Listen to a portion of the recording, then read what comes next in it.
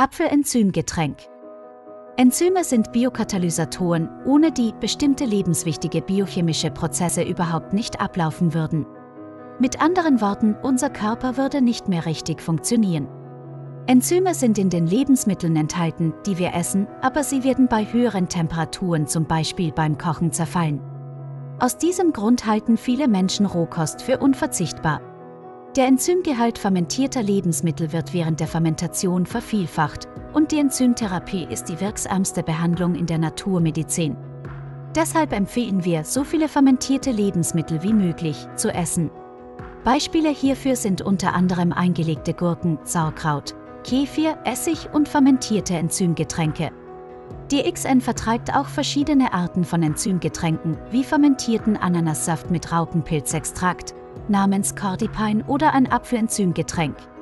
Dieses Getränk wird durch die Gärung von geriebenen Äpfeln hergestellt, wobei die Äpfel ein Jahr lang in großen Tanks vergoren werden. Das Apfelmark wird anschließend gefiltert und als Marmelade und der Saft als Enzymgetränk vermarktet. Beide sind äußerst schmackhaft und nützlich.